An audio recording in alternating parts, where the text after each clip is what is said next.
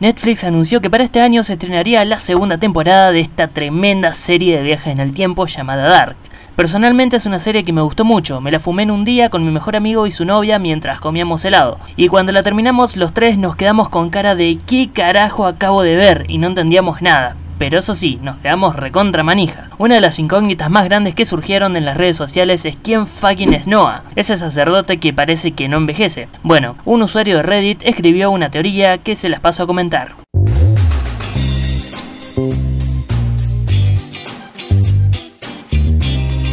Este loco afirma que Noah es el hijo de Tronte Nielsen y Claudia Tiedemani, que es la vieja que era la gerente de la planta nuclear en 1986 y ahí hubo un momento en el que se da a entender que estuvo con Tronte. Como resultado de esta relación amorosa nació Noah, que lo escondieron en el búnker de la cabaña, y eso explicaría la decoración como si fuera una habitación para niños. También explicaría el odio que tiene Noah hacia Claudia y Tronte por haberlo escondido durante años. Cada vez que alguien atraviesa la cueva se abre una brecha en el búnker, por lo que podemos suponer que cuando Matt viaja a 1986, Noah viajó a 1920.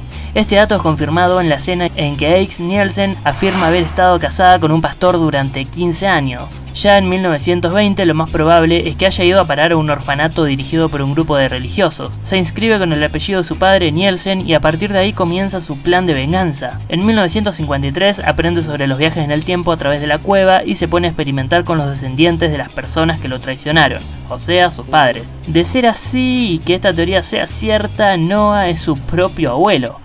El pasado influye en el futuro y el futuro influye en el pasado, dijo. Recuerden que esta es solo una teoría de un fan, nada está dicho y habrá que esperar a que se estrene.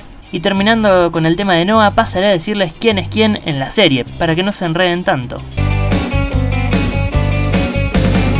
Ulrich Nielsen es el detective del pueblo y está casado con su novia de la secundaria, Katarina, y es el padre de Mikkel, Marta y Magnus. Katarina Nielsen es la esposa de Ulrich, la madre de Mikkel, Marta y Magnus y la directora de la escuela. Charlotte Doppler es la detective que trabaja junto a Ulrich y es la madre de Francisca y esposa de Peter Doppler.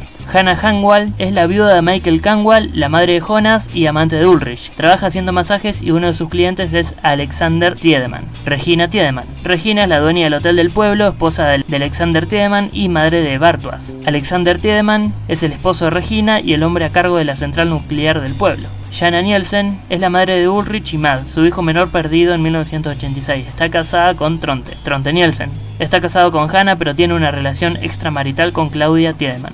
Inés Canwall es la madre adoptiva de Michael, por lo tanto la abuela de Jonas. Egon Tiedemann era el policía en 1953 y 1986, cuando estuvo a cargo del caso de Mad. H. He Tannhaus es un científico relojero que tiene uno de los papeles más importantes de la serie. Él es quien construye la máquina con el que Jonas eh, del futuro abrirá el portal del tiempo en la cueva. Y Michael Nielsen o Michael Canwall es el hijo de Ulrich y Katarina que crecerá para convertirse en el padre de Jonas. Helge Doppler trabaja en la central nuclear de 1986 y es quien ayuda al misterioso Noah a llevar a cabo su propósito. Helge de 2016 se arrepiente de todo lo hecho e intenta detener a Helge del pasado.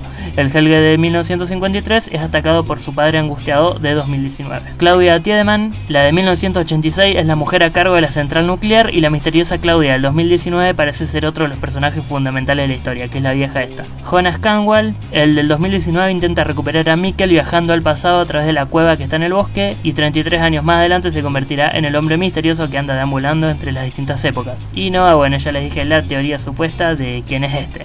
Muchas gracias por ver y no olvides suscribirte para no perderte más curiosidades, tops, review y análisis de tus películas favoritas. Déjame tu comentario y nos vemos en el próximo video.